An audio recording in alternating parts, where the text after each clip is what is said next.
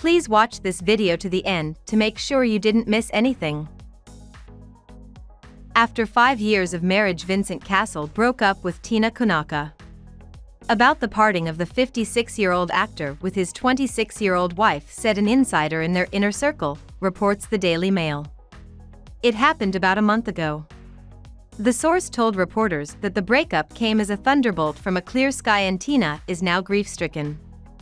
Judging by the activity of the stars in social networks, the parting of Cassel with his young chosen one was a scandal.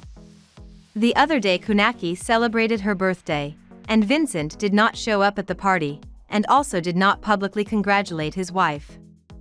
Until then, the Star family regularly published touching posts dedicated to each other.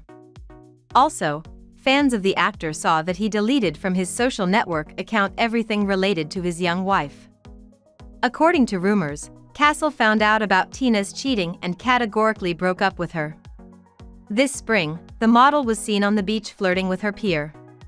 Cassel and Kunakey got married in 2018, the following year they had a daughter.